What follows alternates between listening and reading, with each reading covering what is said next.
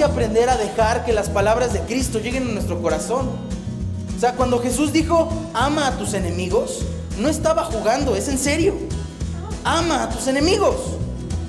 Cuando Jesús dice, al que quiera, al que quiera tomar de ti, déjalo, es en serio. Cuando dijo Jesús que, eh, no sé, que bendigamos a quienes nos maldicen, es en serio. Cuando nos dice el Señor que perdonemos para que seamos perdonados, es en serio. Pero si tú dejas que esas cosas en tu corazón no cambien, estamos permitiendo lo que le pasaba a este hombre.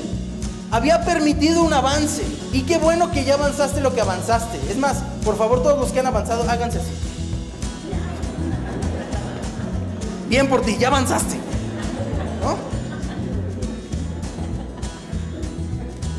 Felicidades por tu avance. Pero síguele. Síguele. ¿Por qué? Porque nos hace falta. Ahora, no solamente te estoy diciendo nos hace falta por tu bien.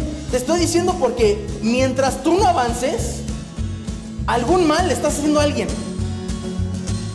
Porque a través de lo que no ha sido redimido en tu corazón, aquellas cosas malas, aquellas cosas ocultas y oscuras en tu corazón, el colando a través de ti para hacerte daño a ti mismo o hacerle daño a tu familia o hacerle daño a tu sociedad.